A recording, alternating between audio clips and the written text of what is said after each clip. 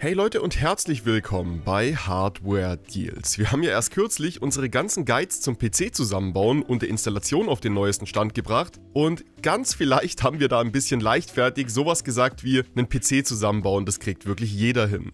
Mein guter Kollege und Profi-Harzer Hardware Rat, ihr kennt ihn spätestens seit der Bierkühlung, die wir gebaut haben, fand das Ganze jedenfalls nicht so lustig, denn seit er seinen eigenen PC-Shop hat und mit Kundenrückläufern zu tun hat, hat der gute nachts extreme Albträume. Naja, wen wundert's, schaut euch an, mit was für traumatischen Bildern der Gute konfrontiert wird. Er hat einiges zu dem Video hier beigetragen und wenn ihr Lust auf Part 2, vielleicht sogar mit ihm zusammen habt, dann schreibt uns das gerne mal in die Kommentare. Auch der PC-Bau hat jedenfalls seine Tücken und sollte nicht auf die leichte Schulter genommen werden. Darum schauen wir uns heute die Top-Fehler beim PC-Zusammenbauen an, damit euch sowas hoffentlich nie passieren wird. Ach, und falls ihr das Video zur Bierkühlung noch nicht gesehen habt, unbedingt nachholen, lohnt sich. Dieses Video wird euch präsentiert von Razer und der neuen Huntsman V2 Gaming-Tastatur.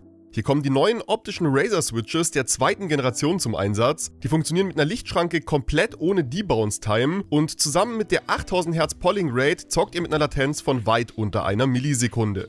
Die Tastatur gibt es als normale und TKL-Version. Beide kommen mit hochwertigen PBT-Keycaps und natürlich einer super schicken Razer Chroma RGB-Beleuchtung. Die Links zu den Tastaturen findet ihr unten in der Videobeschreibung und nicht vergessen, aktuell habt ihr auch noch die Möglichkeit, ein komplettes Razer eSports Gaming Setup im Wert von über 1500 Euro zu gewinnen. Das solltet ihr auf keinen Fall verpassen. Gerne auch mal da vorbeischauen. Razer und ich wünschen euch jedenfalls ganz viel Spaß bei dem Video. Bevor es losgeht, schreibt uns gerne auch mal die übelsten Fehler in die Kommentare, die ihr beim PC zusammenbauen gemacht habt oder von denen ihr gehört habt. Ich bin wirklich gespannt.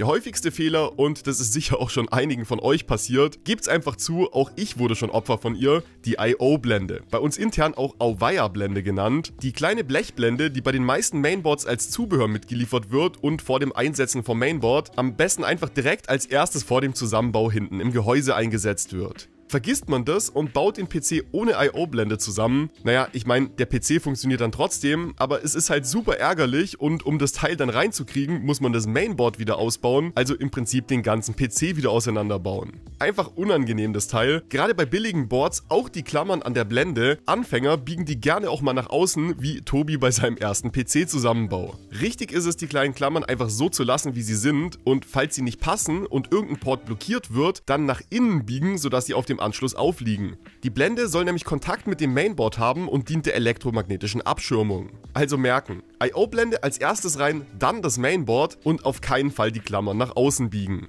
Teure Mainboards ersparen euch hier das Kopfzerbrechen, die haben die Blende nämlich meistens schon vorinstalliert. Der zweite und dritte große und sehr häufige Fehler dreht sich um den RAM-Slot. Einmal geht es um den RAM-Riegel selbst, denn der muss richtig fest in den Sockel gedrückt werden, sodass er einrastet. Viele drücken den RAM aus Angst davor, dass er kaputt geht, nicht ganz in den Slot und hier muss man teilweise wirklich festdrücken. Jedenfalls startet der PC nicht, wenn der RAM nicht richtig drin ist. Wirklich einer der häufigsten Fehler überhaupt, wenn nach dem Zusammenbauen der PC nicht startet. Also abgesehen davon, dass das Stromkabel nicht drin ist oder das Netzteil ausgeschaltet ist. Außerdem muss der RAM in den richtigen Slots sitzen. Auch hier kann man wirklich einiges falsch machen. Wenn ihr vier RAM-Riegel und vier Slots habt, ist die Sache natürlich einfach. Aber wenn ihr zwei Module habt, dann müsst ihr richtig aufpassen. Denn wenn ihr die Module in die falschen Slots einsetzt, kann es zum einen sein, dass der PC überhaupt nicht bootet und zum anderen kann es passieren, dass der PC zwar bootet, eure beiden RAM-Module aber nicht im Dual, sondern im Single-Channel laufen und damit verschenkt ihr wirklich einiges an Geschwindigkeit. Die richtige Belegung findet ihr im Mainboard-Handbuch. Auf jeden Fall müssen die beiden Module, die im Dual-Channel laufen sollen, jeweils in die Slots mit derselben Farbe rein. Und in aller Regel muss der RAM von der CPU aus gesehen in den Slots 2 und 4 eingesetzt werden. Bei vielen Mainboards sind die richtigen Slots auch mit einer First-Markierung versehen. Ein weiterer extrem häufiger Fehler, auch den hat Tobi bei seinem ersten PC-Zusammenbau gemacht, ist, dass das EPS-Kabel bzw. die Stromversorgung der CPU vergessen wird. Viele denken, es reicht das 24-Pin-Kabel am Mainboard anzuschließen und damit läuft der PC. Das ist aber falsch und damit die CPU ausreichend mit Strom versorgt wird, muss dieses 4 plus 4 Pin EPS-Kabel angeschlossen werden. Je nach Board-CPU-Kombination kann auch nur ein einzelnes 4-Pin oder sogar zwei 8-Pin-Kabel notwendig sein. Also, wenn der PC nicht anspringt, nachdem ihr geprüft habt, ob der RAM richtig drin ist, am besten auch mal prüfen, ob der EPS-Stecker richtig sitzt.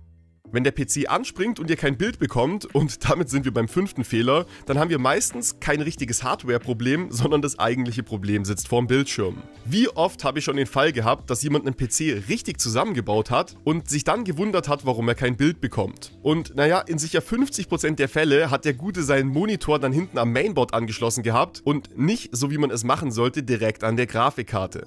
Die Anschlüsse hinten am Mainboard sind eigentlich nur für Systeme mit APUs bzw. Intel-CPUs mit iGPUs gedacht und gerade wenn man ein System mit einem Ryzen 5 3600 oder so zusammenbaut, der halt keine integrierte Grafik hat, dann bringt es halt nicht viel da hinten einen Monitor anzuschließen.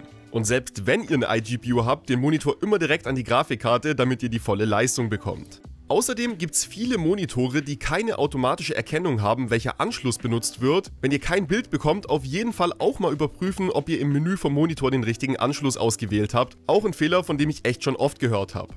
Der nächste Fehler dreht sich um die Wärmeleitpaste. Einer der Punkte, der den meisten Anfängern Kopfzerbrechen bereitet. Glücklicherweise ist die Wärmeleitpaste auf den meisten CPU-Kühlern schon voraufgetragen, was aber, wenn ihr einen erwischt, auf dem keine Wärmeleitpaste ist. Zu wenig Wärmeleitpaste führt dazu, dass die Wärmeübertragung zwischen Heatspreader von eurer CPU und eurem Kühler nicht richtig funktioniert und die CPU überhitzt. Zu viel Wärmeleitpaste wiederum wird beim Anpressen des Kühlers an der Seite rausgedrückt und kann später, falls man den CPU-Kühler wieder abnimmt, im Sockel landen und mit großem Pech dazu führen, dass euer Mainboard kaputt ist. Darum entweder selbst ganz dünn auf der CPU verstreichen oder die einfachste Technik, einfach einen etwa erbsengroßen Klecks auf den Prozessor aufbringen und der CPU-Kühler verteilt die Wärmeleitpaste durch den Anpressdruck dann selbst gleichmäßig. Außerdem aufpassen, dass ihr nichts auf die Hände bekommt, ansonsten könnt ihr mit der Wärmeleitpaste an euren Fingern schon mal zum Picasso werden.